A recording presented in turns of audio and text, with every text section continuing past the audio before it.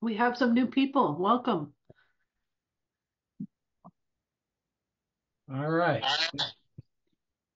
We do have a lot of new people. So welcome to uh, MassFits, our monthly meeting, and hopefully, Ann, can it, can it, do you think everybody can see my sh screen? Is it sharing? Yep. All right. So today, the highlight of today, we're going to talk about, Brian Duke is going to talk about uh, how he restored his telescope. But before we begin, welcome all. And uh, is there anybody in the group? This is a very informal chat. Is there any anybody in the group who's been having trouble with any issues with their astrophotography? Yes, the sky keeps clouding up. Quit buying stuff. Yeah. So who's who's buying all this stuff? All right. Sunita, did you get that uh, that that working? That uh, Mm, No, not yet? no.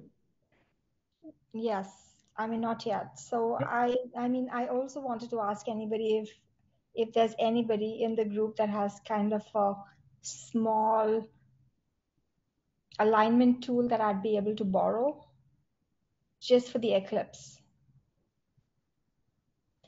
But I'm also going to get a or I'm also going to do this manually, you know, because I mean the sun, it's not that hard, right?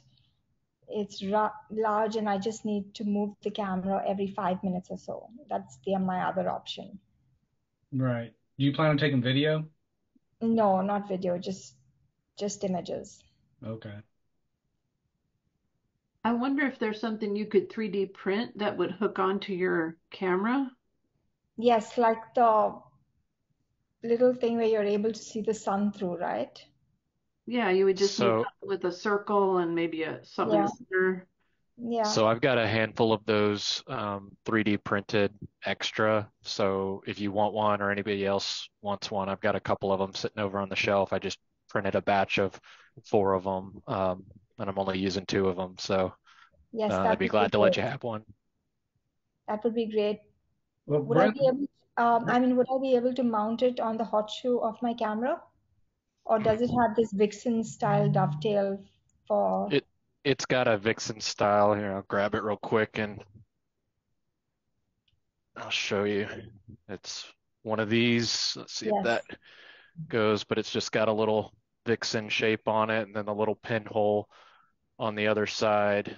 But yeah, I got a handful of these, so if anybody does need one, uh, I'd be glad to set one out, let them come get it.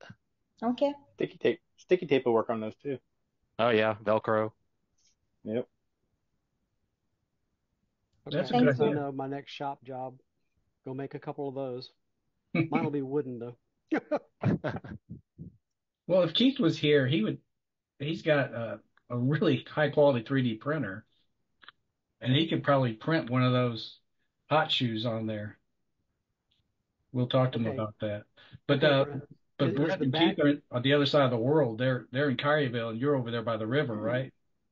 Yes, but I can drive there. Okay. It'd be worth it. All right. Does anybody else have any other issues? Yeah, um, so one thing that was going on uh with Deep Sky Stacker, um, I was trying to uh add my flats, but for some reason, like I could choose any of the flats, but it would only let me choose one. If I tried to add like two, um, uh, Deep Sky Stacker would crash. Does anybody know what was going on right there? Brent, you probably know more about Deep Sky Stacker than anybody I know. Have you run into that? So I have, um, and I can't remember what I did to fix it. Um, I, I'm trying to recall. It's it's been a couple years, but I, I recall the issue that that you you're talking about. I want to say I just threw away like a, a batch of, s- of flats and darks and Yeah. redid them, and, and everything was fine. But I I don't know where it came from, and I don't know how I fixed it. Yeah. Was it a meta te was it a metadata problem, Brent, or do you think it was just a corrupt? I, I mean, I might think it is, but like at the time, and, and it's now been probably uh, a year and a half, two years since I've, I've been using Deep Sky, Stacker. Um, like I, I don't know what would have been different in my process that would have caused it. So that that's the only thing. Like I didn't do anything differently. It just randomly showed up on one particular set. Uh, I banged my head against it for probably two weeks before I finally just gave up on it and moved on to the next thing. Um, I bet if you go out look out on Deep Sky Stacker uh, Facebook somewhere, I, I feel like I posted about it once upon a time. I bet we could probably find it and dig it up. But again, I don't know that it had any answers. Okay. Well, if anybody runs into a solution, drop it in the Slack channel so Adam can get going. Yeah, I, I tried to start using Siril, but I just settled on just using one flat, and I'd say the one flat, you know, did uh corrected like about 90% of the gradient uh that I was seeing. Hmm. So Could you could you create a master flat and just use that? Could you just take all the flats, Yeah. stack them up? Have you tried that? So, so I'm kind of new to this. Uh, Sure. I had some, I had master bias and master dark, but um, I don't know how to create uh, the master flat yet. Uh, when I was in Deep Sky Stacker, it created its own master off, uh, bias and master uh, um, dark, but uh, since uh, I hadn't been able to compile uh, a bunch of flats just one at a time, it wasn't creating a master flat, I guess. I'm not sure. Gotcha. Were you doing that in the context of you know, there was lights also added to the project, or did you try? Have you tried just doing the flats on their own? You know, I, I I didn't even think you could do that, so I didn't even try. I would just think it would just give me a message that said you have to have light, you have to add lights. Yeah. I was wondering if it was a memory issue, but yeah. I mean, it, it could be, I don't know, but is it normal? Like, and I also was converting all my flats because they're in they were they were in raw, uh, and then I was converting them to FITS files. I I guess you have to do that because that was the only way it would work Well, for me. well, what kind of raw? CR2? Uh, any uh, Nikon, uh, Okay. NEF, Okay, that I don't know. I, I, I'm a Canon person, so yeah. Yeah. sorry about that. Yeah, we could always try, like if you had a couple of them, we could throw them up on the um, the Slack or a, a share. Someone else could try to stack them in like PixInsight or something and see if it complains too, and just see if it is the files versus Deep Sky. Yep. and is it normal for all these files to be like, because they're when they're in RAW, they're they're very small uh file size, and then when I convert them to fits, they become like Huge. gigantic. Is that normal? Yeah. Oh, okay. That is normal. Hate to tell you, yeah. Yeah, I just I just started with all this stuff. Uh, Wait, wait till you go to full frame and look at your file Yeah. sizes. Okay, I just pulled up a, a Deep Sky run, and yeah, it creates a master flat for me based Yeah. on the gain I was running. So But I I, wouldn't- I've tried creating the master flat without the lights and then just use Yeah. that master flat. yeah. And that might work because you said you got one flat to work with it, right? Yeah, I could get any of the flats to work with it, but if I tried to add like multiple, it wouldn't work. Hmm. Yeah. But anyway, like I said, it was okay. It does. It did create. it. I don't know if it's an option to do that or not, but yeah. it did make one. So I had to go look. I couldn't remember. Okay. It's Was there so anything quick else? nowadays. I don't. I don't worry with it too much. I mean, it, it it rips through most of the images I have for an evening fairly quickly. You know, frame. You know, image by image. So Don, you use Deep Sky Stacker? Yeah. And and you never have you ever run into that where No, I've not run into that one. Um, I've run into when it was really old and slow, yeah. the old versions of it, but the new versions are just bunny quick. Hmm. Okay. Yeah, Bradley, go ahead. Uh, what? Um, well, what I real quick, call- real quick. What version of Deep Sky Deep Sky Stacker are you using? Okay, hang on, you'd ask. Are you asking, uh, No, Adam. Adam, what Yeah. version are you using? Um, Yeah. It's the I I just downloaded it and it should be the newest version because I've been downloading the uh trying to 515 is what I have on the desktop, but I don't even uh where'd you go? Deep Sky Stacker 515 yeah. Yep. So you've got the latest greatest. Well, as of a week or two ago. Yeah. You could probably try maybe a little bit older version and see if you have the same problem. Just do the flat. If you have, if it crashes on this one, try like the one of the four versions, and then put in just all your flats and just stack those together and see if it creates you a master flat. That's worth a try. I, And then you I'd can go start back to the five one with the master flats and all the other master stuff. Put it all together. Yeah. Mhm. Okay, Bradley, you're about ready to say something. Sure thing. I'm what I call a re-beginner. My last astrophotography venture was sheet film through a four and a half inch Tasco reflector in 1968. That's the way to do it, man. off. Yeah. Old school. So I'm starting from scratch. I'm equipment free. I'm interested in photographing deep sky objects, and I'd like to listen to anyone with comments about what kind of equipment to buy, um, the best way in, and so forth. Um, my budget's not drastically tight. I'd call it maybe four. Uh, so I'm ready to listen and taking notes. Well, first thing I'd say you need wide field. Uh, You want deep sky? Yep. That's where you start. So clearly wide field. Yeah. Got a That's where you suggested. F number, Steve? Uh, what what telescope, guys, to to start? Like a Maybe William something Optic? like uh, we, uh, William Optics, maybe a, a 70 millimeter, um, Yep. like a, a Zenith Star or one of those kind of in that family, something in the probably 350 to 450 um, millimeter focal length range. I, I think that's a safe kind of restarting point. Yep. Yeah. The scope I built, that was that 450, and that's the reason I built it because I wanted something with that kind of field of view.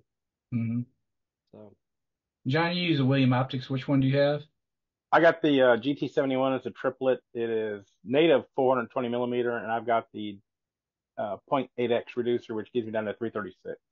Do you use that So it does. reducer quite a bit? Oh, that's oh, the the Heart and Soul Nebula I did. That's a six panel mosaic using that scope. mhm. Um, and Yeah. it, it fits a lot of the a lot of the uh, nebulas fit in there pretty good, except for some of the really big ones. Uh, hmm I mean, it could fit almost a whole soul in there by itself. It'd be cutting the edges off because I got a 533 camera. If I had my DSLR in it, it'd probably fit almost the whole thing. Uh, Yeah, mine mine's the same size as as John's. Um, it's the one that I use most of all. Um, I've got a much bigger Explorer Scientific 127, one that's, you know, the big and impressive one. So like whenever I talk to the kids at my kid's school or something like that, they're they're always like, "I bet you're always using the big one." I'm like, "I'm really not." So, it's really made out of So- styrofoam. Naive, naive point. All you guys are talking refractors. Yes. Oh Yeah. yeah. Okay.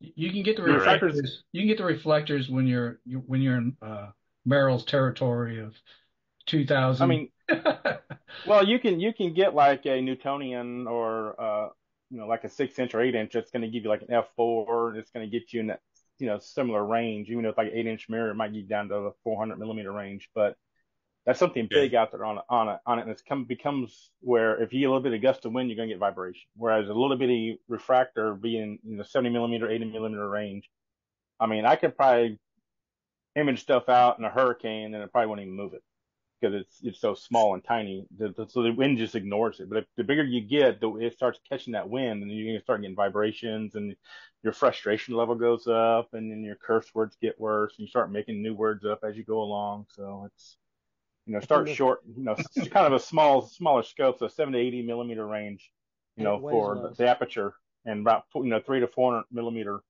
range. If you got a DSLR and a, and a lens, like a fixed lens, 135 millimeter, I mean, you can capture a lot of bigger deep sky objects and get really wider field of view. And you can go up to a 300 millimeter lens, something like that. You're gonna, you might spend just as much. I mean, I spent a thousand on my GT71, um, probably about 10, 10 years ago, I guess, almost eight years ago. Uh-huh. So you, if you can get a, uh, like 200 millimeter lens or a 300 millimeter lens, not the, um, 75 to 30, 300. I mean, something that's going to get you like a fixed focal length of, uh, 300 millimeters.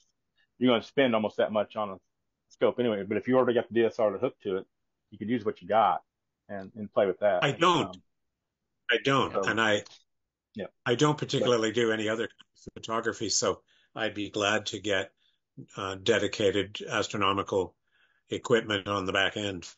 Yeah, I mean, But I, There's I'd a, uh always, session. Um, if you go back in the, the YouTube channel on the recordings of these sessions, and somebody with better memory than me might remember when it is, but I did uh, I did a presentation on exactly kind of the equipment that I bought, how long it took me to build up to where I currently am, and kind of the the order of things and upgrades that I did uh, along the way. Um, that one, there's a lot of people talking about equipment that they had and and the same order that they went and kind of how they built it up. I, I think that would be a really good one to go back and and check out and just kind of see um, what people were talking about in that particular session. okay, thank you. I'll do that. Any recommendations as to mounting? What do you got, Brent? So I Sorry? have the EQ6, um, the Skywatcher EQ6R, uh, which is a heck of a mount. Um, And John, you have that too, don't you? No, I've got the the oh, one earlier model of it. I got a regular EQ6 before Okay. the R model came out. Yeah. yeah. So it's it's solid. Um, there's some newer ones that are more lightweight that uh, I know some people uh, might have those. The the ZWO harmonic drive um, that can handle, I guess, more weight, and they're a lot more lightweight. Um, I'm still on the fence on it. I, I, I suspect I will eventually snag one of those, but the one I have now, it, it like I said, it, it's a workhorse. I when I bought it, I bought it to make sure that I could use it for a long time, and I've had nothing but good Yep. things to say about it. Yeah, his, I mean, his, Brent's bringing up a his good mount, point. Go ahead. I'm sorry. his Mountain Dew, yeah, I'm sorry, his, his Mountain Dew, what, 44, 45 pounds or Yeah. 40, Yep. 40 to 44 range. Mine's about the same, around 40 pounds. You, you look at, if you can go buy a mount today, you got to look at what are you going to do in the, in like the mid future, few years down the road. What do you really want to try to get to? You want to do a lot of galaxies? You want to do just bigger nebulas? You want to do small nebulas? You want to do planetary nebulas? You want to looking at planets and stuff? you know, depends on that. That might drive you to where, okay, if I get a small scope today, like a, a 70 millimeter or 80 millimeter, I can do a little more wider field, bigger, um, like Heart and Soul Nebula stuff, the Elephant Trunk Nebula. I can get the bigger stuff in. A 30 um, a mount that does 30 pound weight be perfect. for. It's kind of a lightweight, it's easy to move in and out of the house. You know, you don't have a fixed spot to put it anywhere. If you're going to come in and out of the house with it, you know, by the time you get to an EQ6, I mean, that mount and with everything to it, it gets heavier and heavier. So, you know, the, the Right. closer you want to get to things, the longer focal length you go, the bigger the mount you're going to need. And it's going to be, you start looking at weight goes up, weight goes Bradley, up are you the going to park it in your backyard? I'm sorry? Are you going to park the mount in your backyard? Or are you going to have to lug it around? Oh, I'm not parking it in the backyard. We don't have that kind of backyard. So I'll be schlepping it out to If you're schlepping Yeah. it, I would, I would, uh, I would consider like an AM5. The, the Yeah, Brent do or AM5, about. AM3, something like go. I'd probably go more for a lightweight mount, something in and out of the house. Because if you get a heavy mount, I mean, there are days with my EQ6, I like, oh, I really want to do that. That thing is just too heavy. I'll, I'll skip the whole night because I don't feel like dragging it out or anything like that. Or I'll put the my uh, single arm uh, 6SE mount, which is alt azimuth mount, with the my little six uh, C6 on it, basically.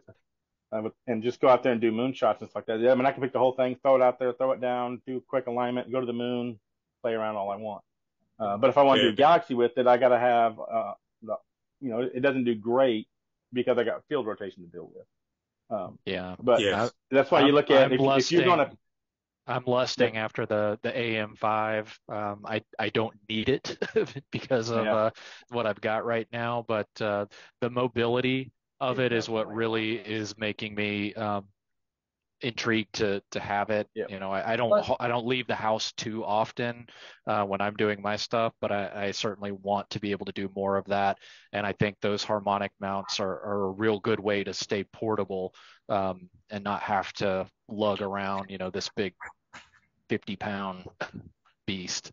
And, yeah, and it's- Bradley, if, things get heavy. Bradley, if you, if uh, the beauty of the harmonic mounts is they really don't require uh, counterweights. Sure. Whereas Yeah, have- most, most of the other German equatorials, you have to have the counterweights. Now, if you an- get really heavy on these AM5s, you got to have a counterweight. I have an AM5 and it is great. Uh, not having to deal with that counterweight. Uh, you've got a, uh carbon fiber uh, tripod it sets on. You can slip your arm under, pick it up, and and go with it. It comes in its own case. Uh, use an ASI air with it, whatever uh, lens you want to with it, and it's uh, it's great. It's been the it's, it was it's been it cost a good bit to get into it, but it's been my best investment so far. Yeah. Very good. Thank you. A Final your- final. Yep. What A lot of your what money, would you recommend? a lot of your money Sorry, go goes towards your mount. Yeah. typically. Of course. Yeah. Uh, finally, um, I I know that well. I've dealt with uh, shabby, shaky mounts before, and it doesn't matter what's going to put on it. Crap, if it has that. Final question: What would you guys recommend for a beginner person in a dedicated astronomical camera? I- I'm a I'm a Zoe guy. Brent's a Microsoft guy. It just it just depends what you're comfortable with. Yeah. If you're I mean, Zoe, I, you I think, yeah, yeah, I think the the ZWO um, probably color cameras. I don't I don't know if you want to jump straight to mono and and kind of deal with all the mess that goes along with that just yet, but um, I started out on a Canon. Uh, I moved up to uh, an, a ZWO ASI 071 MC. Mhm. Um, I think that is a great kind of intro color camera. Uh, I think Steve, I think you have that, have or had that one. I think a few other peoples have had that one. right. Um, so I, I did that for a few years before finally shifting over and, and doing mono uh, imaging. Um, but if you're kind of getting back into it, getting comfortable with it, uh, I, I, I'd say it's hard to go wrong with the ZWO color uh, camera. Yeah, do the one shot, and I th- the 071. I don't know if you can even find that anymore. Uh, I think the 2600 pretty much replaced that one because it's the uh, um, Yeah, not it's That's not the full true. frame. It's the uh, the uh, the DSLR sensor size. Where I started with, I got a Canon T3i modded and used that for a while. Then I moved my first, well, my only cool color camera is I got a I got the ZWO 533, which is a square sensor. I was It's 3008 by 3008, and so it's smaller than the DSLR sensor, but I don't have to worry about having a big rectangle of how I want to frame things. It's going to be a square. I mean, I'm you know 50, you know 45 degrees either way, and I got it in wherever I want.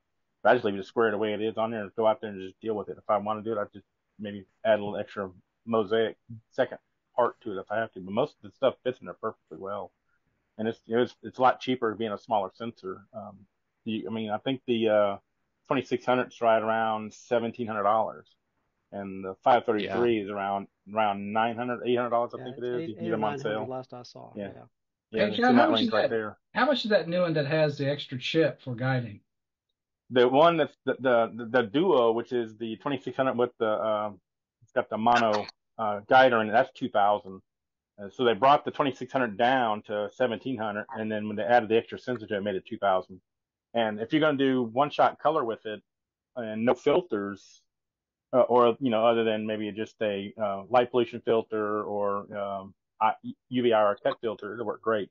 The problem with the, that sensor the way it is, since if you start using like I have an Antlia uh, five millimeter dual HA03 filter for my one shot color, and a lot of people have been having problems with the um, like the even like the uh, ultimate, the um, extreme L extreme from the uh, Optolong because the guide cameras shooting through the same filter, and a lot of times they can't get guide stars, so you have to go with longer exposure on the guide camera, Oh wow. and even then they're having problems with it. So they, there's people are starting to not like it that way. I didn't I didn't think about that, but it makes sense. Yeah. But if Yeah, you're using that- for that's like, what made me leery about when I saw them Yeah. coming out. I was like, uh, it's intriguing. I'm not sure if it's functional yet. But yeah, I mean, if you're going to use a UV IR cut filter, if you're going to use like the L, I use the Alt, uh, Optolong L Pro filter. I've got an Optolong, Optolong L Enhance filter.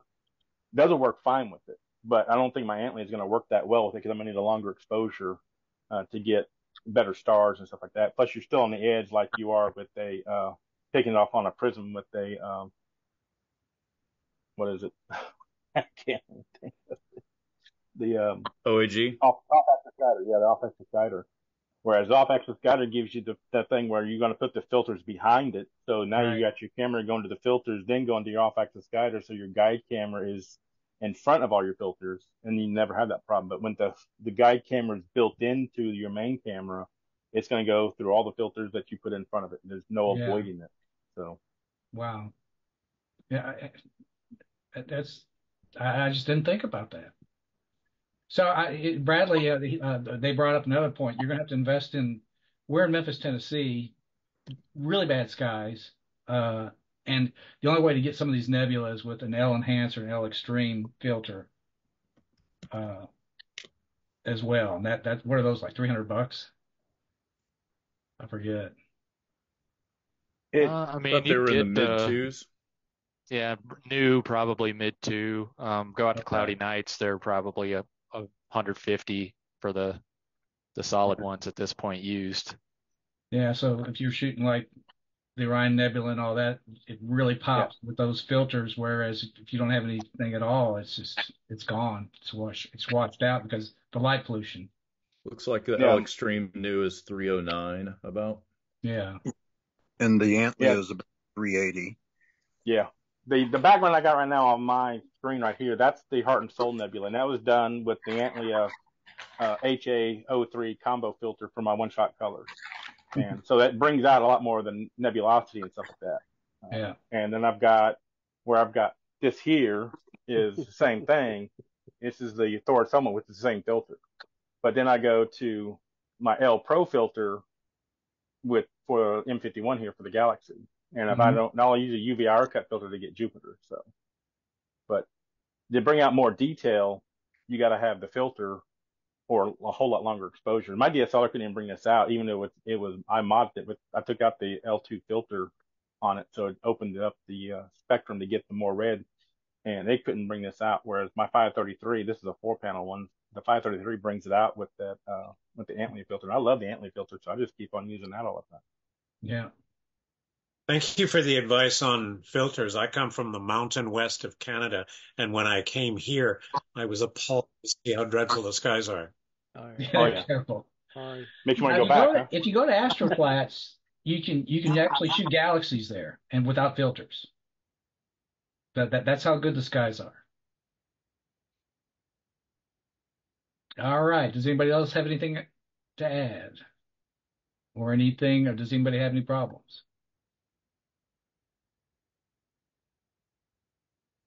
All right. I think we're going to have Brian Duke come up to the plate. And uh, I tell you, these FedEx pilots I'm discovering, they they just tinker and everything. It must be because of all that time in the tarmac, right, Brian? We have too much time on our hands. That's what it is. okay, so Hey, Can, can I ask a quick question? Steve? certainly, John. Okay. The other day, I installed a um, ZWO-AEF on my uh, Celestron 8SC SET, hmm and I pull and I'm getting it set up to do the uh, the eclipse, and I pulled it off to take my uh, telescope out to the uh, Mississippi, uh, out to uh, Marietta, and when I got there, the thing will not focus now. Uh, I put everything back in place. I thought, but the focus still works, but it's like it'll focus things that are fairly close. But when I point it to deep space and try to, and well, if I try to focus on Jupiter, it will not focus. But I found that if I was focusing on something like went through the branches of a tree, I can focus on the tree. How far away was the tree? Uh, the tree was, I don't know, 100, 150 feet away. Okay. And I You want to be farther than that. Yeah. yeah, You want to, if you focus on a tree, you want to focus on the tree furthest away from you. That's a good place to start. Right. And then- Right. But uh, I Yep. have, I've gone from it. It absolutely won't even begin to focus on a, you know, on a, on a, uh, on a distant object. Like I said, I tried Jupiter because it was, uh, of course, that's one you can you'll find very easily. Uh, but uh, I don't know if I've I've pushed something out of alignment with my focusing uh, knob. I know you've got to uh, put a keeper on there to keep anything from sliding back out of the back of your telescope. Right. I've got a ring in there, and I didn't know if there was some other adjustment in there uh, that I've accidentally turned or that I got in place that when I was working with the EAF, that it turned an adjustment like a, a screw or something back up in the shaft of that uh, uh, adjusting knob. It's possible. Normal- It's possible you damaged something in the focus area of the. This Oh. is a SCT. Uh, I know with my my C6, my 6SE, I um, I just put on a, a, a belt drive for it basically. Yeah, I didn't discover those till I got into that, but I'm yeah, afraid- and go and ahead. so I mean it it works no problem. And I did notice that the the the stem that it's really moving in and out the whole bring the whole mirror back and forth. There's a screw in there to hold that. If the screw comes out, then the stem will slide out, and then it's not going to move anymore. You can focus all day, but it won't slide back and forth anymore. And uh, Okay. when I when I changed my focuser on my nine and a quarter, I changed off the stock focus and I put in a feather touch fo- uh, focuser. And I took that all apart. I mean, you see, you I had to, I had to unscrew it to get the old one out, and then put the new one on. I had to put the screw back in. Otherwise, once you move that mirror forward, you try to bring it back, it's not coming back. It, it helps keep that thing stable, so it'll it'll actually help grab it back and forth. Okay, one thing I did notice. to check. Yeah, one. Yeah, so check to see if you get that center screw on there. Yeah, no, the one thing when I turned the the uh, adjuster all the way in one way that there was a pin or something that stuck out the end of the uh, of the adjuster that I had not seen before, and I didn't know if that was something that was not supposed to be there, supposed to be there, that had slid out of position, or if it was an adjuster that had screwed back. Uh, it's just uh, it's got me confounded, and the problem is it's got me scared because that's the telescope I was going to use for the eclipse and I've got almost no time to get that thing repaired if it needs to be repaired or find out what I have done to it. I would pull the focuser off of it. Just just yank it, y- y- yank the focuser off and manually focus and see if that that plate is going in and out. Looking through the hole. Don't put an eyepiece in there or anything. Okay, how do you do that? How do you take You it can look in apart? the what you can do is if you got the way it is right now, look in the front through the front of your scope and then move the focuser back and forth. You should see the mirror moving back and forth. Okay, If the mover, if the mirror's not moving at all, it has come unattached from your focuser part, which Okay. means you pull the little rubber knob off, and you can look in there and see if there should be a little, like a little hole that a screw would go in there the mirror. Okay, hold the, it in this place. yeah, the mirror is moving because I can I can cause it to focus and unfocus, like I said when I was looking at some near objects. So it's moving, but I don't know, you know, why it's not. Uh, I mean, I'm not even getting the little donuts that you see when you look at a very bright object through the telescope and it's not focused. Do you go to the very end of the travel of it on both ways? I go to travel both ways, and I'm not getting Oh, anything. maybe you just just need more spacers. If, do you got a focal reducer on it? No, uh, No, it doesn't. It won't I, matter. then. wonder, I, yeah, Um, I was wondering, did I do something to change the focal length on the doggone thing? The um, what you could do. I mean, you're are you looking through an eyepiece on it or a Yeah. camera through it? I've got a right angle eyepiece on it. Okay, because um, usually with the camera you'd have to up the gain and stuff. So when you start focusing, you might start to see a fuzzy donut starting to show Right. up, and it'll get brighter and brighter and brighter. Right. But since you got the eyepiece on there, you should be the same thing. You should start Right, to fade yeah. in to have a, have Yeah. a donut. It Okay. might be to where if you're going too fast, you might be going past it too quick. Well, Uh, I don't think that. But I mean, I've had. I've had frustrations like you with my little six uh, six uh, C out there. I'll go out there and I'll, I, and I had the eyepiece on a long time ago.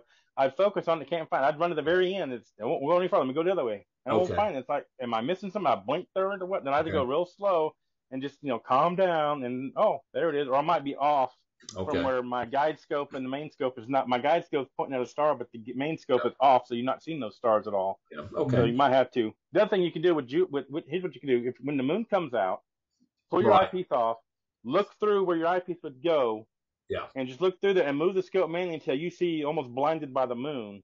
Yeah. Then put your eyepiece on, then try to focus Yeah. that way. When I, when I tried it out, the moon wasn't out. But anyway, I just want to throw that out there, see what y'all had to say. And uh, I've been out of, I've been away, and uh, I'm gonna get out there probably tomorrow night sometime. uh, Well, when the sky clears again. So I just want to get some input from y'all before I get out there and start struggling with things. I appreciate your input. Yeah, Freddie Diaz has that set up too, and I bet he's ran into that problem. I, Okay. I post something on Slack. I posted this question on Slack as well. Okay, I appreciate it, Steve. Mhm. All right. I think I think we're ready for the Brian Duke to join. Well, I'm here. I don't know about the anything, but okay, I'm gonna quit sharing, Brian, all right. and uh, you just do your thing. Let's see what we have. All right, what do you have? Do you see uh That's perfect. you see this? Yep. All right, great. Uh, I'm Brian. If I haven't met uh, any of you, but um, so it, Merrill invited me to to talk about some of the work I've been doing. This has been a project over kind of the fall. Uh, I've, I've, been enjoying the work I've done the last couple of months, but um, the big picture here is you can take an old and busted mount that you're ready to throw in the trash can and turn it into something that's really great to image with. So um, I did that with a Celestron CGEM.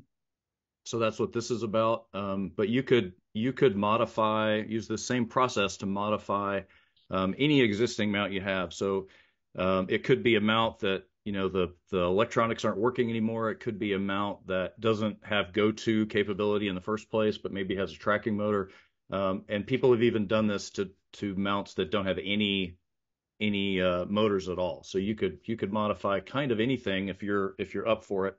Um, the big power in in uh, in this process, I think, and I wish I would have known this uh, a long time ago, but this is a, this is a fairly new thing. But um, is you could take a mount like say you buy an old uh, Losmandy or a or like a CGE Pro is a really common one to do with either no or broken electronics, and you can completely revive the thing. So um, you can get, for example, a CGE Pro for uh, under a thousand bucks that's broken, and then you can spend a couple hundred bucks more and completely rebuild the thing and have a, you know an awesome mount that has a ton of capability. So that's what this is about. Um, for me, this started. Uh, I have this Celestron CGEM, like I talked about. I've owned it about 15 years. I bought it new, maybe five to eight years ago. Um, it stopped intermittently. It would stop tracking in RA. So when you're doing imaging and you it just all of a sudden randomly decides to stop, it ruins your pictures, right? So back then, I talked to Celestron and they said, "Oh, no big deal.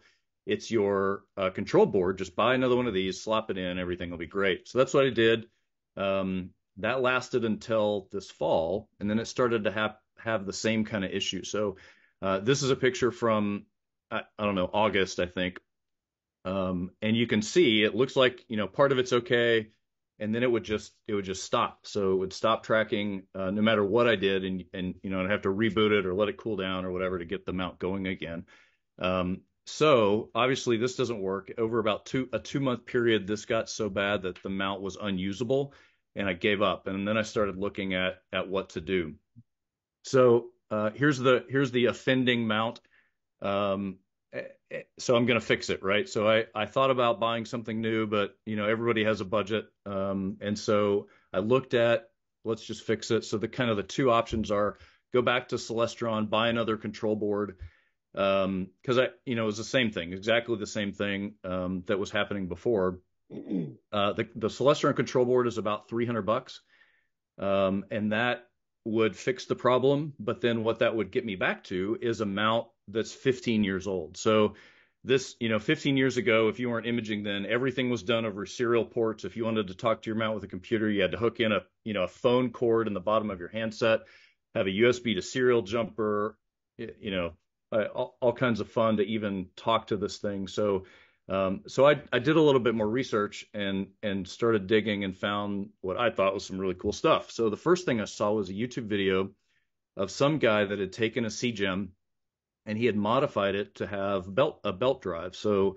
uh, from the motor to the worm gear assembly, he had changed it to be a, a belt drive instead of the you know the multi-gear, highly sloppy uh, kind of setup that the CGEM has. Um, so I thought that was really cool. But he was one of those well, I'm not going to put, uh, anyway, I, am not going to be mean, but he didn't share any details. How about that? Um, so I kept digging. Um, and then I found this, this, uh, this online open source project called OnStep. And OnStep is a, is a, like I said, it's an open source project started by a guy named Howard um, Dutton, I think is his last name. And he bought uh, a, a Losmandy mount that he wanted to add go-to capability for and so he started software to do it. So he figured all that out. Um, it's a super active community. Uh, they have an online group. They have uh, development just goes nonstop with this stuff. So it's it's really great to see. Um, lots of people wrote. You know, they have a they have a wiki there that lists you know a bunch of people that have done uh, an OnStep mod to their mount, and there's all kinds of people bragging about they took a totally dead mount and made it awesome for a hundred bucks. Um, so I thought that was pretty great, right?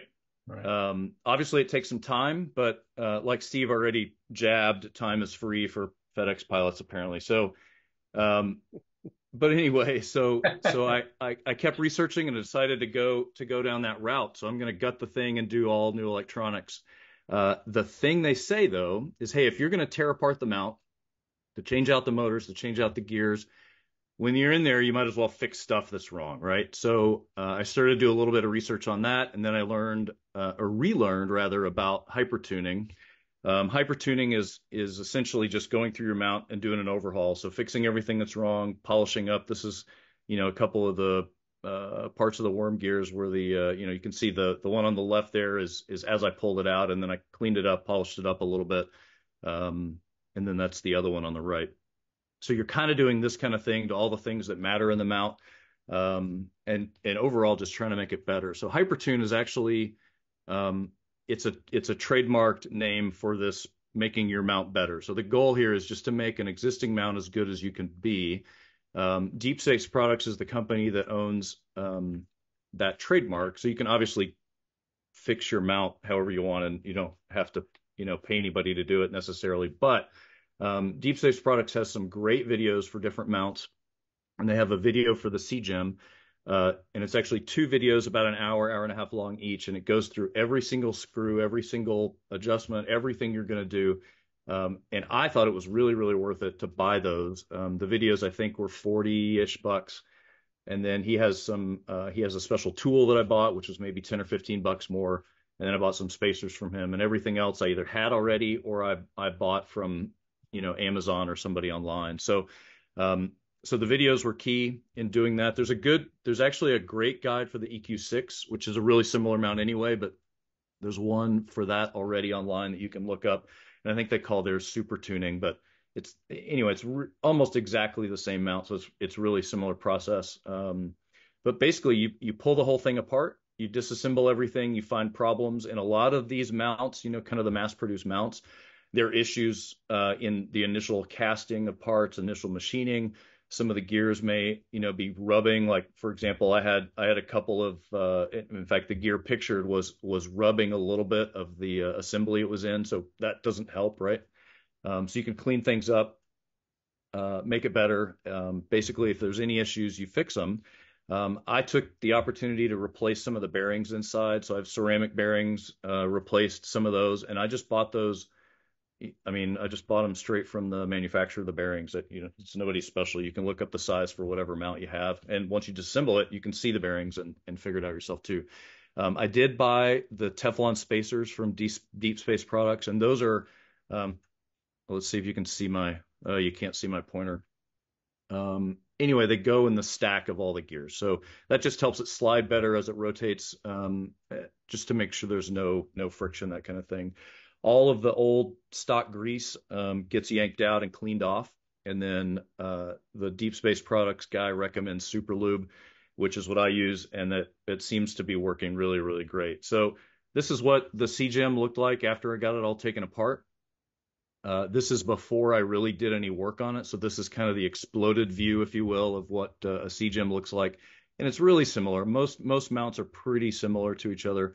Um, and like I said, the goal is really just to take all these parts, figure out what's wrong, and make them as you know, make it as good as it can be. So in doing that, um, all kinds of people report, you know, hey, it's easier to move, it's easier to turn, and I, I didn't expect, you know, I, I had a, a decently performing mount before, so I didn't I didn't expect it to be night and day. However, I had no idea how good it would be. Um, I did visit Merrill's uh, house. I brought my kids over there to to see his observatory. And you know, when he unlocked his mount, he was able to just kind of push it, and the you know the you know his million dollar telescope would move, and and it was gorgeous, right? Um, but that's how mine moves now. So this is this is the status of how things move. It is it is smooth as butter. um, it really is great. And and honestly, the the best word that I or the word that I kind of used initially to describe it is the mount feels floaty now. So if you if you un unlock the clutches, and it's balanced, you can touch it and the whole mount just it just goes. It's it's really amazing how uh, how different it is compared to before. But the the big win with that is that it makes balancing super super easy. So if you move if you move the weight just a tiny bit, you can feel the difference, and if you move it a tiny bit more, it'll start to move. Whereas, you know, it seemed like I had to move my counterweights an inch before before the you know, the whole thing would start to move. So that was that's kind of the the uh, the big picture on the hypertune process. It worked really really well, um, and it it feels great to have a mount that just moves uh, like a nice you know well oiled machine, if you will. So uh, so that's kind of the uh, the the hardware part of it. The software part uh, and the electronics was the other side. So OnStep, we talked about it a little bit, but OnStep is this open source um, open source project, and it's basically new firmware, new software that runs a telescope. Uh, and the cool thing is you can you completely gut anything you have in your telescope. So I remove the mount or the uh, I'm sorry, all the the motors, the encoders, the uh, the motor encoders, um, the mounts for the motors, the electronic board, all the wiring, everything, and I was left with just the hulk of of the mount shell, and then everything that I put back in is new. Um, the cool thing with one of the cool things with OnStep is you you get to decide what it's going to do. So you you can pick you pick all the parts, right? So and depending on what parts you pick, can change how much uh, how much features it has um, and what which features you have. So one of the things I really wanted was uh, to move to stepper motors with belt drives. So I got that. Um, you can add GPS. This is a this isn't a list of all the things I did necessarily, but I did a bunch of these. Um, GPS is super easy to add, so that lets you do things like not only know where you are if you move your mount, but it also helps sync the time. So it automatically syncs the time and then gives a time pulse to your mount to make sure that time never drifts uh, in your mount's computer. So that helps with uh, the tracking solution, right, or the tracking rate. Um, I wanted Wi-Fi on mine, so I added that, and that lets me uh, connect with a, a, phone straight to the to the uh, to the telescope so I can do diagnostics, do setup, or even run it straight from the phone, which is cool. Um, I, added an integrated weather station, so that lets me control. The next line there is automatic dew heaters.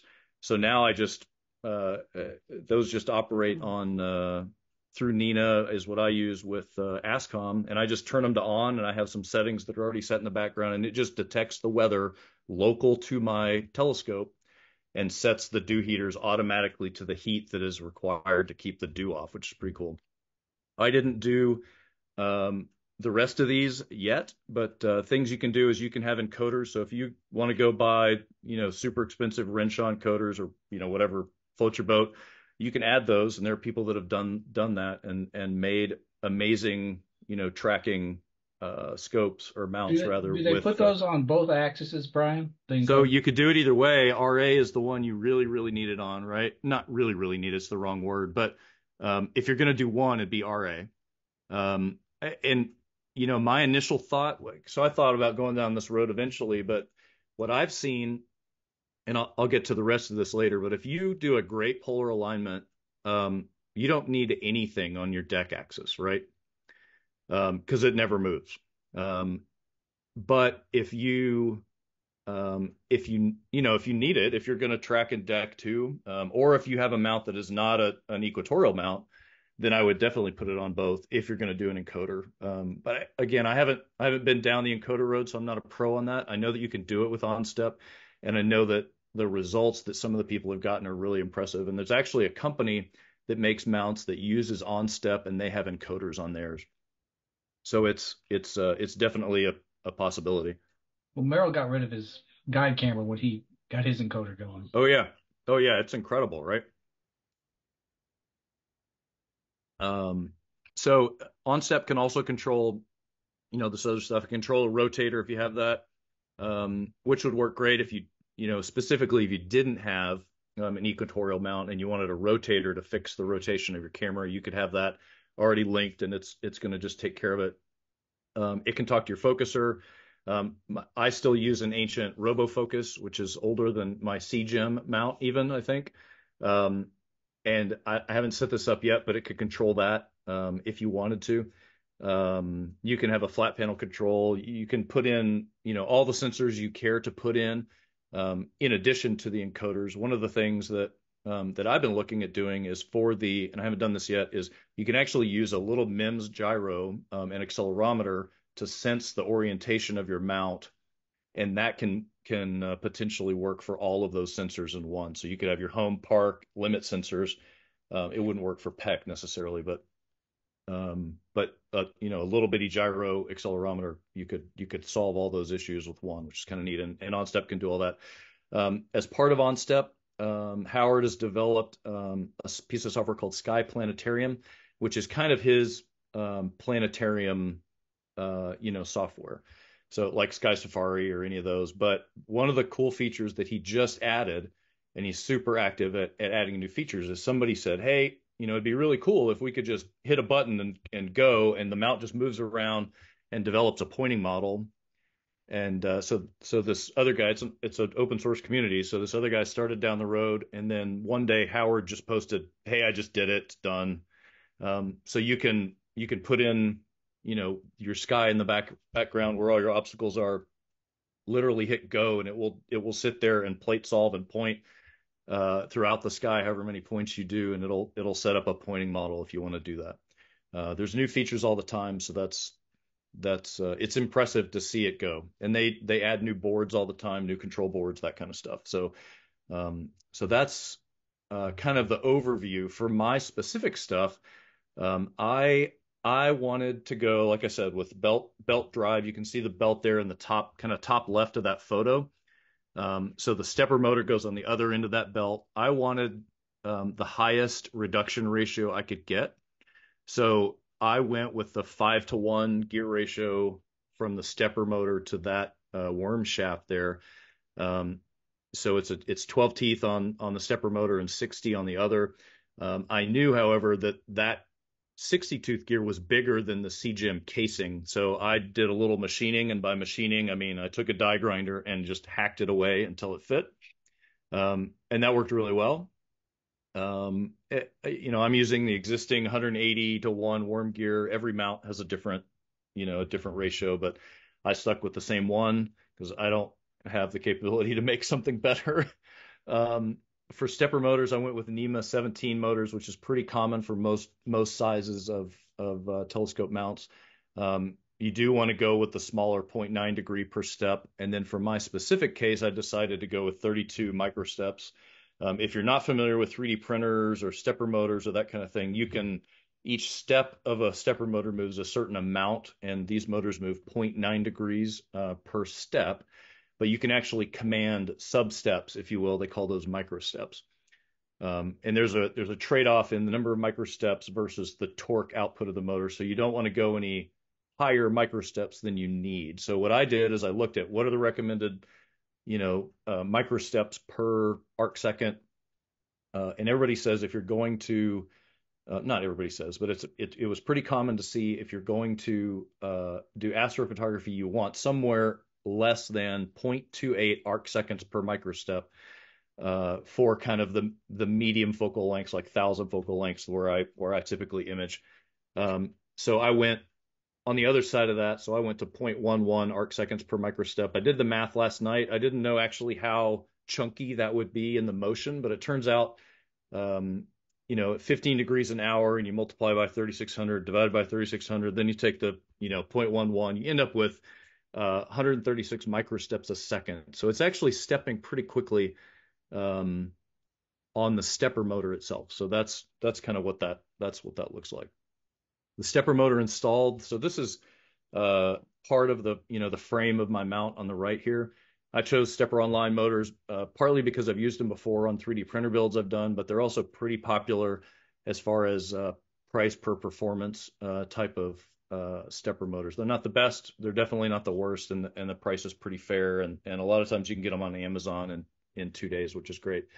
Um, a lot of or all the parts I used uh, for mounting, so mounting of the electronics and mounting of the of the uh, motors are 3D printed. I took in all cases I took designs that other people had already done for this mount, and then I modified them. So I I imported them into Fusion, and I basically started over, but I used their first one, their first set as a guide. I did that just to to fine tune the alignment on things and to make sure that you know everything worked exactly for my setup. Um, I, I, have all I have all these files online that anybody can have, so uh, I'll tell you where the link is later. But the big picture here, though, the thing to watch out for is You don't want to use PLA or any other low temp material if you're doing things like a motor mount, because uh, if the motor gets hung up or you're out of balance, the motor warms up, or maybe it's just hot outside, you don't want the mounts to get melty because uh, then things aren't aligned and that's good. If you are uh, cool like Keith and you've got a you know a, a router, CNC router, then you could make the stuff out of aluminum, which would be even better.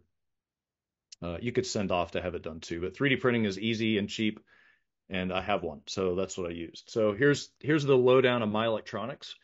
Um, I chose a FYSETC or however you say that S6 control board. And again, this is right out of a 3D printer. So this is a 3D printer control board. Uh, it cost about 40 bucks, um, and that's on the expensive side of those.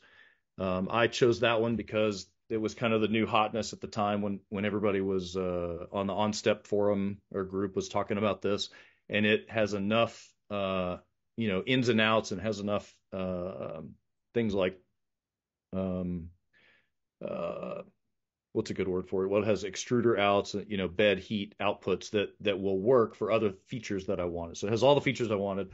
Um, I decided to kind of go overkill on the stepper drivers. So stepper drivers are what convert um, the software signal to the actual motion of a stepper motor. Um, and they're in the top right of that photo. I went with their TMC 5160 uh, HV stepper drivers. And one of the reasons I went with those is they're way over spec for what I need, which means I shouldn't ever have a cooling problem. So I don't need a fan in here to keep this thing cool. I don't need any, don't have any concerns about it being hot. So um, it cost a little more to go that way, but um, I just figured peace of mind and why not hit it with a giant sledgehammer. Um, like I said, I use a GPS. Um, that's in there. It's the little thing on the right hand side uh, that has the hot glue and the little gray wires going to it. Um, and the antenna I just hot glued on the left side because that was the up pointing side of the uh, of where I'm going to mount this uh, up at least when the the telescope is parked. Um, I added um, a the Wi-Fi capability, which is that little blue board on the top, and that lets you have a website. So your your telescope launches a website that you can do all the configuration and everything uh, straight from your computer browser. Super easy. Um, like I said, I added a weather sensor and that lets me do those two dew heater outputs. There's a couple other ways to do dew heaters. You can actually do them uh, very similar to what a lot of people have, where they just have a knob that they turn, you know, and they go, oh, I know if I go 50%, I'm good to go. You can set up an analog uh, dew heater controller and on off if you want to do that. I thought it would be cool to automate it a little more. And the weather sensor was like eight bucks, so why not, right? Um, if you're wondering how to control this, you can you can actually control it. I haven't done this, but but from what I understand, you can control it over uh, Wi-Fi if you want to. I prefer a hardline uh, USB, and that's what I do. I use ASCOM ASCOM drivers, and it works like a champ with NINA. And I assume it works great with anything else that uh, will use either ASCOM or INDI. So uh, like Steve said, when you're a when you're a pilot and you're traveling around, you got to get testing done. So this was uh, up in Baltimore. I did all my GPS and Wi-Fi testing outside of the hotel, just in some park. So I, uh, I you know try to get stuff done during this project when I when I could. The um, the cool thing though was once I put all these pieces together, got it all together, um, the the first motion, so not a first light, but the first motion had a pretty it was a pretty special feeling. So here's here is that.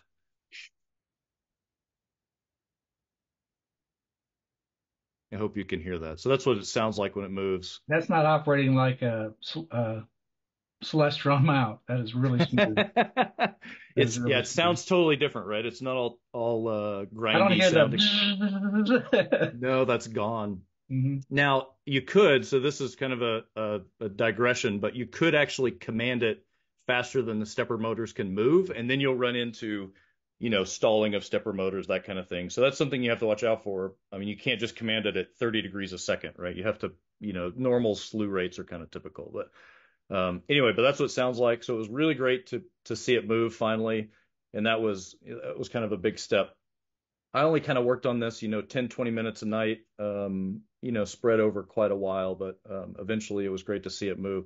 Before I, I got it out in the field, though, like I said, I added a weather sensor. So that's this bump on the outside of the case. This orange, big orange case is what I where I housed all my electronics. Um, and I decided to, to do mine on the outside of the mount, mostly to make it super easy for wiring and accessibility and that kind of thing. Uh, this hardware, all the electronics will actually fit inside the CGEM mount.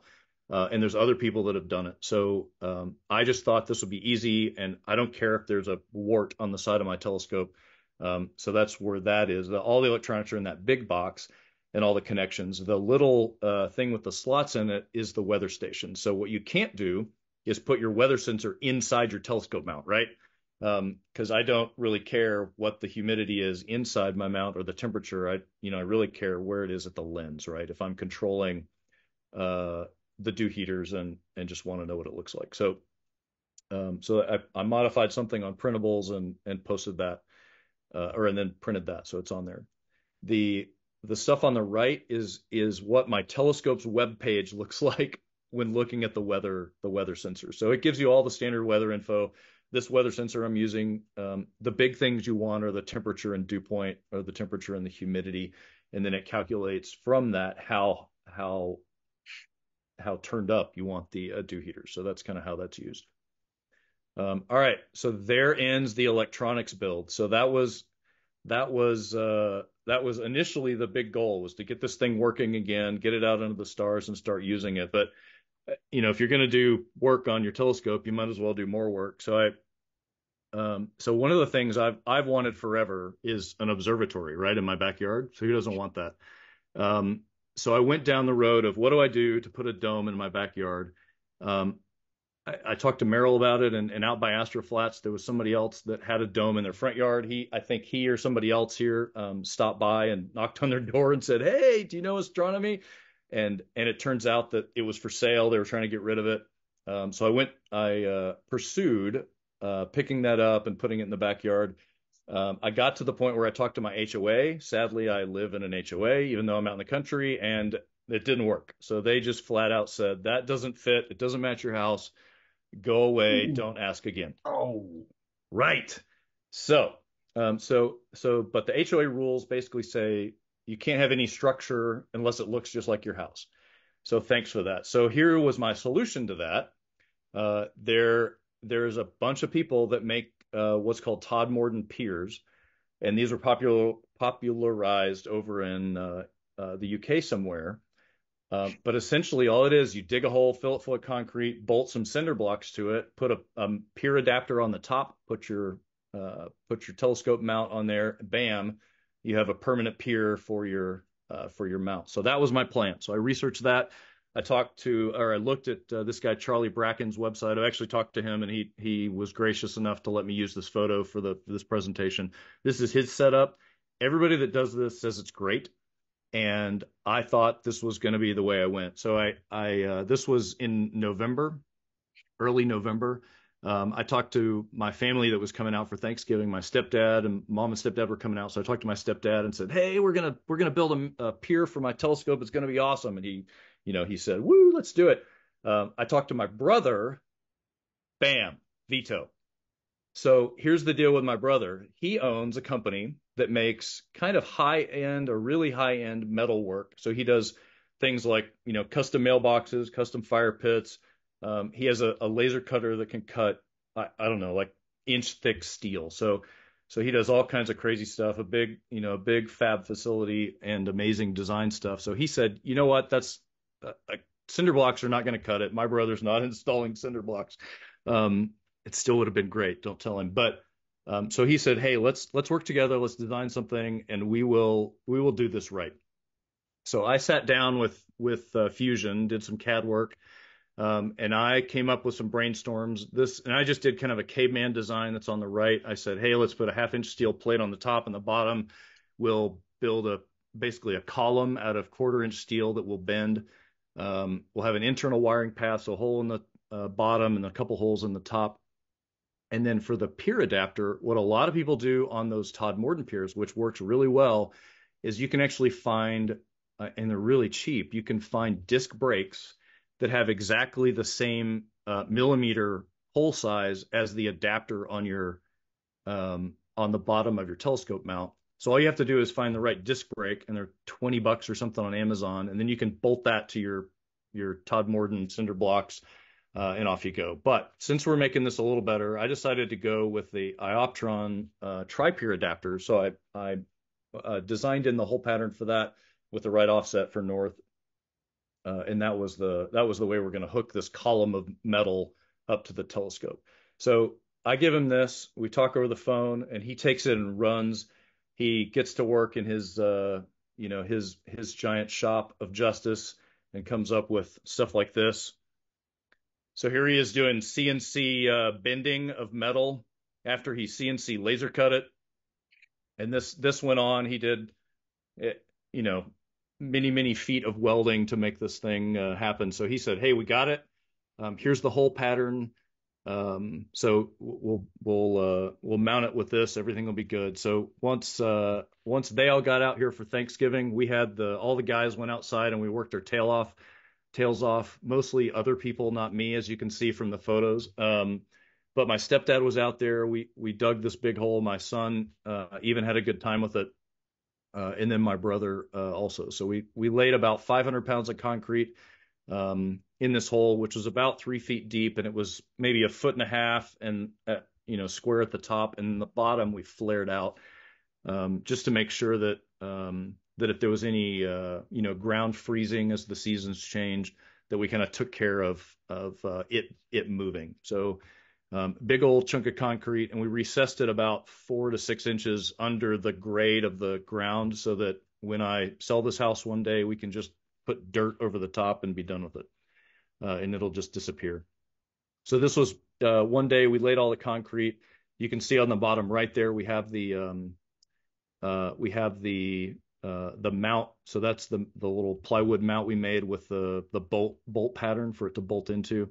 Um, and that's it. So that's kind of how we did it. So my brother gets here and uh, he unveils the pier. So this is what his pier looked like. Um, it's all steel, powder coated, uh, like I designed. The bottom and the top are half inch steel, and it's quarter inch everywhere else. And those pieces that you saw him bend a minute ago are what the the walls are made of. So it's all welded together um, and then that Ioptron uh, tri-pier adapter is on the top. And the hole on the side there is for the wires to route, which I still haven't gotten to, but that's the plan. Um, so I posted this on the Slack, and of course Keith, who's not here, so I'm gonna I'm gonna give him crap anyway. But he was quick to to name it the monolith pier, and so uh, for Keith, for uh, Keith, here we go. That's uh, that's it. And we got conveniently once we once we put this thing in the ground, we got a similar picture uh, of it. So this was about 24 hours after we laid the concrete, and uh, we put it on there. We didn't tighten the bolts yet. I, actually gave it almost a month before I torqued down the bolts.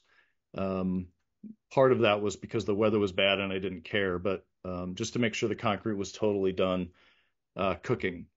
So that's that's that. Um, in that time, I I designed a little 3D printed bracket to put all the power adapters. I have two power adapters, uh, one for my camera and one for everything else. So that's that's that thing hanging off the side. And then it's ready to go. So then, you know, now we had first movement. So now it's time for first light. So you can see here my first light wiring uh, cable management is ready to go. Um, the cool thing is I, you know, I hooked this thing up and I did some testing, you know, in the daylight in the shop. Uh, but once I hooked this up, I just hit go and it slewed pretty close to where, you know, to where it needed to go. And that was great. So, um, uh, so I did a, you know, did an alignment, did, you know, did the three star polar alignment in NINA, got it as close as I could. And then, and then we did some testing. So, uh, the first thing I, I shot was Orion because that's, that's easy and it's bright and that will let me see what's going on. So here's the gotcha though. So as part of, uh, anything, so new board, like I said, this was the new hotness. Um, I found that they had an issue with it. So, um, the picture looked pretty good. So I was pretty excited and I thought I looked at my RMS values for the tracking, the guiding, and I thought, eh, one, you know, one arc, arc second RMS, it's not too bad. But if you look deeper, if you look at that graph, you can see every RA correction is in the same direction, right? Yep. So what that led me down the path of is what, you know, what's going on. So it turns out, um, if you've done any electronics work, timers are hard. Um, and the way the code was written, and the way the S6 control board is designed, uh, time wasn't real time, even with the GPS correction. So, um, so great thing is I, I posted online on the the OnStep group. I posted what you know everything I found. Why isn't this working right? This doesn't seem right. And Howard, you know, the lead guy there, uh, he fixed this thing in in about two blinks. So it worked out great. And this is what it looked like maybe two days later. So then, you know, almost no corrections. Um, and so much much better, much much better activity, much better tracking, and uh, and all that. So uh, with all that fixed, that's that's kind of where the electronics sit now. I've used it a lot since then, but um, but this is what we're looking at. If we have good seeing, this is pretty typical for what I see, um, which honestly is it's pretty great for a CGEM. I mean, a CGEM is not an amazing mount. I it's I've been happy with it for the last 15 years, but it's it's not a world class mount by any means. Um, and to basically get auto guiding results that are you know in line with what seeing is uh, or better, then that's I think that's great. So this is kind of what I'm seeing on a on a good night. Um, the the big thing is when you have a telescope that's set up on a permanent mount in your backyard, it completely changes the game for for doing astrophotography. It takes me five minutes to set up max, and that's if I pour a drink on the way out to the telescope. So it is it is really really great to be able to go out in the backyard um, pull the cover off, and then turn a couple of switches on and be imaging right away. So uh, this is a picture from uh, a while ago, kind of right after I got it going. Um, before, I would have never even thought to image the day after it snowed, right? Because you know you've got ice on everything, all that. But I, I didn't have to realign. I didn't have to do do anything for this. I pulled the cover off, flipped some switches, and and did some imaging. So it's great. It's a it's a total game changer. Um, so just recently, um, my wife uh, did some landscaping work when the landscape guys were here. They uh, made a path out to the telescope, which was cool. So this is just flagstone that they put in the ground, and then they uh, we put kind of or they put kind of a you know a rock area around. So all the areas that I had worn the grass down from me walking around it over the last couple of months, they uh, they covered it up. Um, like I said, this thing stays out at night uh, 24 seven. This thing, I mean, this thing's been outside for, for several months now. This is what it looks like when it's buttoned up and ready for a storm. Normally I just put the cover over the top. I use a Telegizmos 365. Um, and then, uh, I also have one strap that I'll put on if it's going to be windy or any of that. Um, if it's going to be really bad, um, then I'll put two, two straps on just to snug it down and make sure everything is, is great.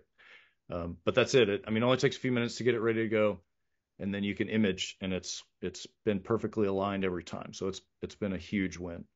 Um, so back to the beginning though, uh, the really I think the power in all of this is you can you can take a mount that is broken if you have one, or if you want to do a project, you can buy a mount that is somebody else's piece of junk trash and uh, and make it a rock star. So um, I'm not gonna lie, I've been looking for CGE pros ever since I finished this because you can get one that doesn't work. The electronics are bad. I've I've seen them for seven to thousand dollars, seven hundred to a thousand dollars, and that's a you know if you put new electronics in that thing, that would be a, a great great mount to have. So uh, there's all kinds of other mounts you could do this to, but uh, that is what I have done. So if anybody sees a CGE Pro for cheap, let me know um, I told you I put links uh, and the files and all that stuff. I have a website that I update about once a decade. It's astronomynightly.com. So you can go there. I did a write up. There's actually a lot more details on on all of this. Um,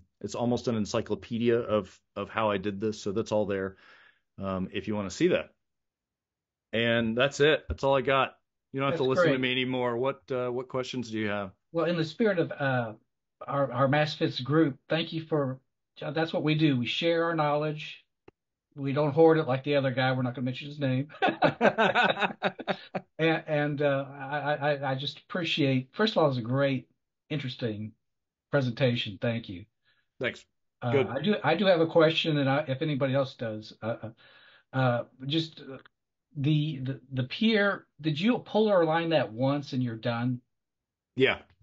So, so you don't you don't so, have to polar align anymore. No.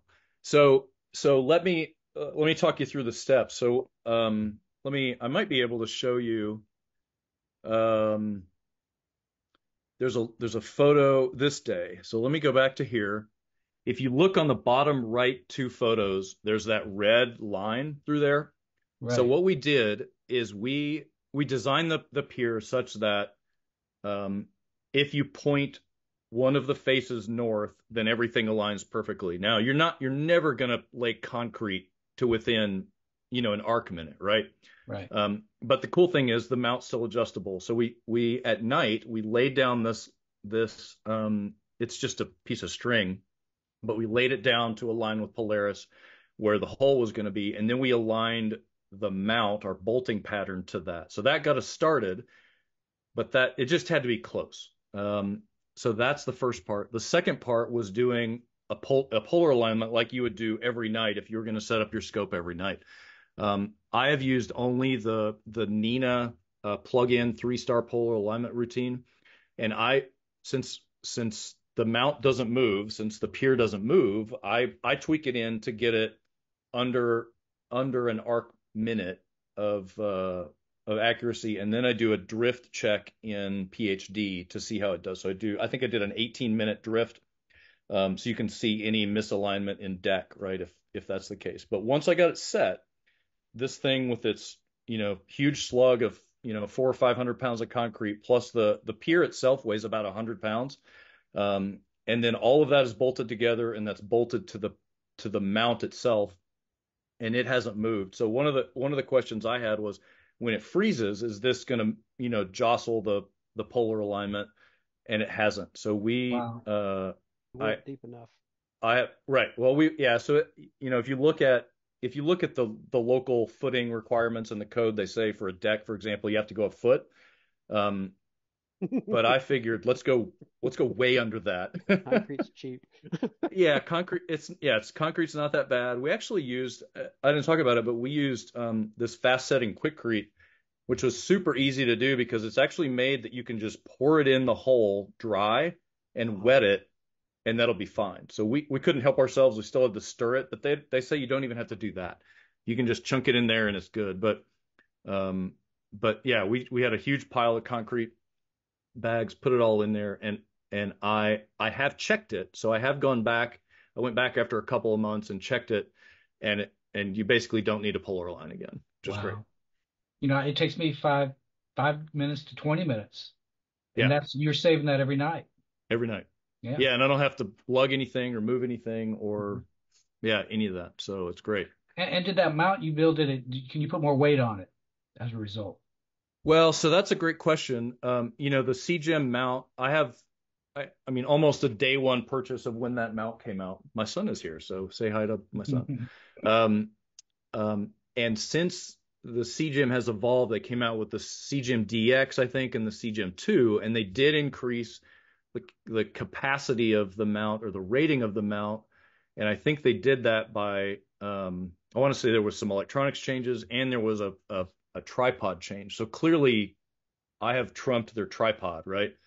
um, so if the tripod was the limit before, then sure, you probably could squeak a little more out. Now, um, I'm I, probably already was pretty heavy for a CGEM, um, so I'm you know I was pretty happy with the results I was getting anyway. But it's been it's been good with it. Now I haven't pushed it. I haven't done a test to see how you know how much you can actually put on it, but um, I would expect it to help some.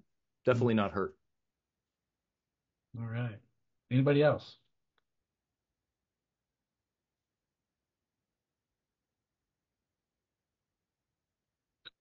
Crickets. All right. Thanks for listening, Guys, everybody. well, I was just debating on get you over to my house and dig a hole for me. You notice And your it bro- wasn't that's a good looking digging, right? that's a good looking pier. It's I, I love it. It's great. He um he did a I mean he did an awesome an awesome job. Freddie actually talked about buying one from him and I I told him my brother would not entertain making any more and then I talked to my brother about it and he said, "Well, maybe." So, It's Freddie. You got to do it for Freddie. well, that's what I told him. I said he would show up at your shop because he has I think he has family in Houston. So, my brother's in Austin, so he, Freddie said, "I'll just show up." But Um, I think I think Freddie's spouse, I think his wife vetoed the pier once he showed. So similar to what my HOA did, uh, Freddie got the kibosh put on his his backyard pier. But but anyway, he's uh, my brother did say that if anybody wants one of those, then then uh, he would entertain it. He has a busy shop, so it would kind of have to be on a time available kind of basis. But it's I think it's a great pier. It's great. You can I mean you can go up and kick it. You know, you could probably drive a tractor into it and it it's not going to budge. It's great. Excellent. No vibrations or anything with it. No worries with that.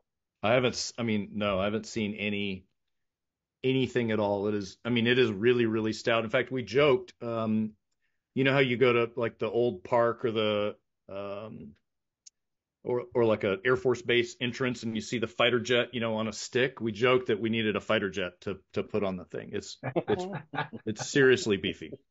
Mhm. All right. And if anybody has to up that, that a couple of uh, E EQ sixes are getting old. If anybody has any questions, go to Yeah, Brian. the, I mean the EQ6 and and the CGEM are really close, so they're Mhm. it's kind of a similar deal. I did just put um these slides on the Slack if anybody wants them, if anybody Excellent. cares. So they're there, and you can share those if you want on the the YouTube link.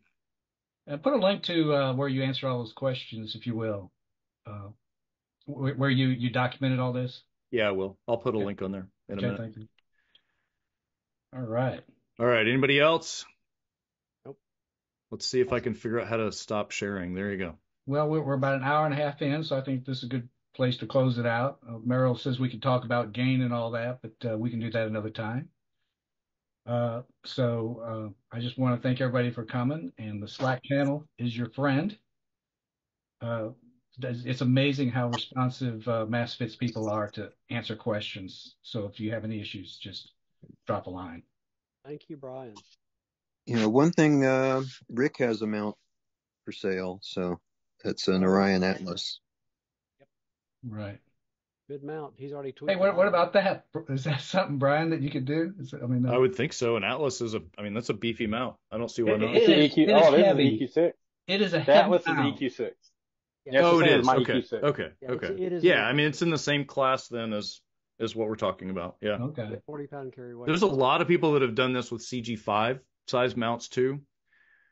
Um, but I mean, the ask. like I said, the guy that the guy that started this did it with his Losmandy mount. So there's you do with whatever you want. Mhm. All right. Well, I think that's a good place to end this, and thank you all for coming. Thanks, everybody. Thank you a lot, Brian. That was an excellent presentation. Thanks, y'all. Yes, good. Welcome. Yeah, everybody, uh, have a great evening.